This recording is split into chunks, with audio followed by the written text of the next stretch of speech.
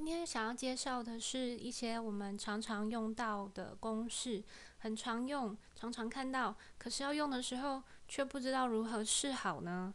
好，首先呢，从这个自己先设定简单公式计算来开始介绍。我们一般来说，我们按那那个储存格的时候，这个地方会。这个资料编辑的地方会显示是空白的。那我们一旦开始按了等于的这个符号下去之后，Excel 它就会认定你要开始计算，做一个公式的计算了。好，OK，我们从这边开始哦。假我们今天都会以这个表格里面的资料来去做说明。呃，这边有品号、项目数量，还有它的单价。那我今天如果想要知道呃它的这个营业额是多少的话，也就是说我的数量乘以价格就是它的营业额结果。OK，那我今天有一笔，只是要计算手写一笔资料的话，那就是九十九乘以十就可以得到九百九十元了。那我今天如果有上百笔资料，我没有办法一个一个去算的时候，我们就可以用这个 Excel 来帮我们去带出来它的结果。好。我们看一下哦，这个格子呢，假设我先把它清除掉。这个格子呢，呃，我要怎么样让它自动带这个公式进来呢？我要怎么样去做设定呢？首先，我们就先按一下等号。我们可以看到，来这个地方资料编辑列的地方也跑出一个等号了。好，等号，我现在也不用按九十九，我也不用按十，我只要去按它所对应的储存格就可以了。D 二。然后星号也就是乘，然后去对应到这个一十这个，然后按 Enter，好，它就自动带出九十九乘以十等于九百九十。那下面的话以此类推。那通常我们把它这样子，只要做完一格之后，游标接近右下角的地方变成黑色的双的十字符号的时候，往下拉拖曳，它就会自动带出来这边。譬如说，宝卡卡是九五乘二十是一千九，这样子一个一个下来。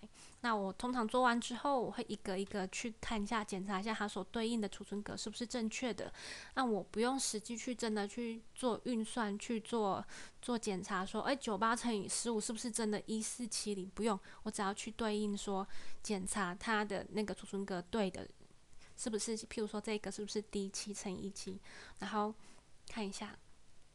如果说眼睛看花了也没关系，我们点到这个地方的时候，游标移过来，资料编辑列点一下，它就会把把你所运这个运算运算过程当中所用到储存格全部都框起来。OK，好，这样子没有问题的时候，好，一样按 Enter 就可以放过它了。好。再过来呢，我就今天如果想要知道哦，我这个总营业额这一排的这个总金额到底是多少呢？我也不用用一计算机一个一个去这样加总，我只要 Excel 去带出来就好了。我们这边用两种方式来做介绍。这边我是用这个 SUM，然后它的这个函数去带的。那还有两种地方可以进去。第一种呢，它是直接好用这个格子来算好了。这边我先把它清除掉。在这边，游标移到这个资料编辑页旁边，这有个 f(x) 这个插入函数的符号的时候，点下去，我们看到这边出现了一个等于，然后这边搜寻函数，你打上 SUM，然后按 Enter，它自动带出来，点两下。好，我们来对应一下哦。我们的这个所有的函数呢，Excel 里面的函数都是第一个对应到这个第一个跟第二个、第三个。好，这个标里它，它这边都会有做一些说明。到第二个的时候，它也会做一些说明。好，那我们今天只是要做这一排的加总的话，我们去确定一下，说是不是 F 二到 F 十。是我们要的吗？好，确定，确定好，它是直接带出来一八六八五。好，那另外一个方式的话，我们可以直接呢，好，先把它清除掉，直接从右上角这边有一个自动加总这功能，点下去之后，我们看到它这个框框一闪一闪的框框，它框起来的部分是不是你实际要加总的东西呢？如果是，按 Enter。好，它帮你加总完了。还有另外一个更快的方式呢是什么呢？我们直接把它圈起来，你把它选起起来。选取起来之后呢，看一下我们的右下角视窗右下角这边有，它会显示出你选起来的项目个数有几个，十个加总一八六八五。OK，这三种方式，我们得到的结果都是一致的。那它的函数也都是一样的，sum。好。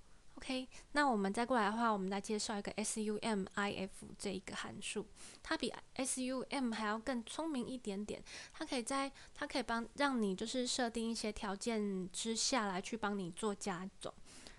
怎么说呢？我们来举个例子来看哦。这边来，我们这边有一个，我已经把这个函数贴在这边了。这是什么意思呢？这个意思是。一栏位，一栏位是什么？是价格，价格大于等于三十的商品，我要知道它的总营业额是多少。来，再一次哦，价格，价格这个栏位的东西，它如果是大于三十的话，大于等于三十元的话，我要知道它的营业额是多少。我要等于就是我要把，呃，我需要的资料是这么多的商品里面，这么多的商品里面呢，呃，它价格是高于等于三十的商品的营业额是多少？我要知道。那如果是小于三十的，我不要，请帮我剔除。那怎么做呢？就是这个函数。它自动帮我们找出来了九千九，你不相信吗？OK，你可以一个个看哦。来，我们大于等于三十的有哪些呢？我先把你标记起来哦。大于等于三十的有这些。好，我们来看一下这个四千五加三千六加一千八。这样选起来，你看我们右下角九千九，跟我得出来的是不是一样的呢？对，好，那所以我们就可以知道说，我们这个 sumif 这个函数，它是可以达到你你这样子的呃，有一些条件设定之下所要得到的一些加总。OK，好，一样，我们再从用用函数这边去。这个 f(x) 这边去做一个对应，来看一下哦。我们通常呢，第一个格子就是会在这个挂号，我们一般的函数都会有后面一个挂号，函数名称，然后挂号，挂号里面的每一个逗点呢，就是它会分隔，把每一个那个呃你设定的参数，把它做一个分割。那第一个参数是一二到一十，一十一。也就是这边，然后第二个逗号后面这个地方呢，也就是大于等于三十，在这边。然后第三个参数呢，就是 F 二到 F 十一，就是营业额的部分。好，那这边是同步显示的。OK，我们遇到的每个函数，它都会这样用这种方式去做显示。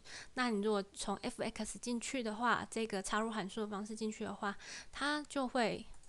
用这样子的框框去为您做说明，那它的好处是什么呢？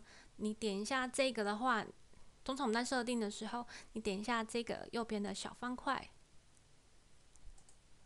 它就可以让你自动让你去圈选你要的储存格是什么，然后再点一下又会回来。而且你每点一个地方，它右边就会用一些中文说明，让你去更加了解每一个参数要下什么样的指令。好，好，我们再接下来介绍另外一个是 if 这个函数。好，if 这个函数是指什么呢？很明显的，它就是我我来去做，呃，我的举例来说，假设我这边有设定一个假设。这个营业额的部分如果没有高于一千五百的话，它呃假设它有高于一千五百的话，请传请在这边显示达标；如果不是的话，请显示未达标。好，所以呢，我这边设定了这个 F 二，F 二这个营业额大于一千五百元的话，请显示达标。它有大于一千五嘛？它没有，它是九百九，对不对？所以它显示的是未达标。好，那其他的格子呢？一样，我也是用复制的方式去把它去拉出来的。也就是我的游标移到右下角这个地方变成黑色十字的时候，往下拖移，它就会自动带入这个你的函数。我们也稍微用肉眼去做检查一下，一千九是不是大于一千五？是，它有达标。一二五有大有没有大于一千五？没有，好，未达标。好所以可见这个函数是完全，你可以非常信任它，只要你设定正确的话，你可以非常非常的安心的交给他，再也不用用眼睛肉眼去做一个辨识。好，再接下来呢，再介绍另外一个是 count if 这个函数，它是用来做什么？它是用来数数的。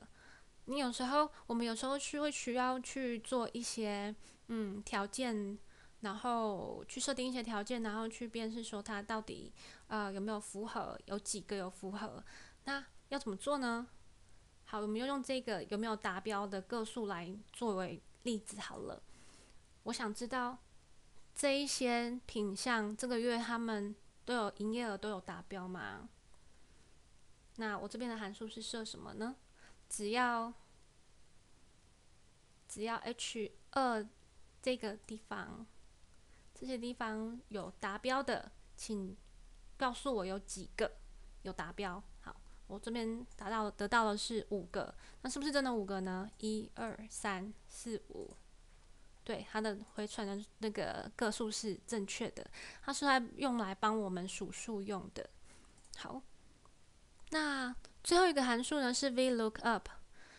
VLOOKUP 这个函数我们也非常常使用在于多个表格，然后需要交叉做比对的时候，或者是说需要用来呃获得一些，就是要把你的表格做一些呃另外的格式的转换的时候，也常常用到。譬如说薪资条，我们通常我们在做薪资表的时候，都会有一个总表，那总表完之后会要。再另外转成个人的薪资条，那这个 VLOOKUP 就还蛮好用的。好，我们现在先以这个资料来去做一个范例来说明哦。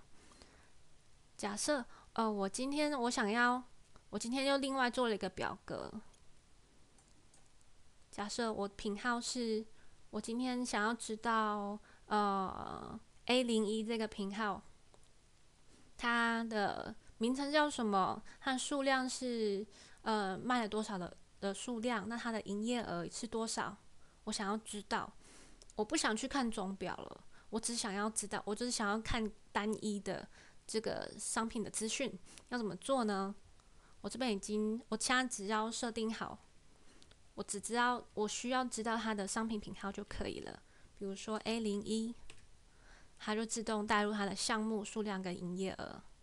好，或者是 A 零五，我根本就不用去背 A 零五它的名称是什么，它就会自动带入它的资料。那它这些资料是怎么来的呢？好，这边来介绍一下 VLOOKUP，一样，我们点选了 FX 进去之后，第一个格子，它要找的是我们的搜寻的主要条件是什么？主要条件就是我要以用这个品号来去以品号来去做搜寻，所以我就设定了 C 一六这个地方，C 一六品，我这边这个这个东西这个格子来去做搜寻。那我为什么加了前字号在前面呢？为什么呢？因为我今天如果没有加了前字号的话，待会我在做复制往下拉的时候。它整个储存格会，它整个参数都会跑掉。那如果我有加前字号的话，它就是把它锁定，永远我去我这个函数，不管我复制到哪里去的时候，它都不会跑到别的位置去。好，这就是前这个符号的好处。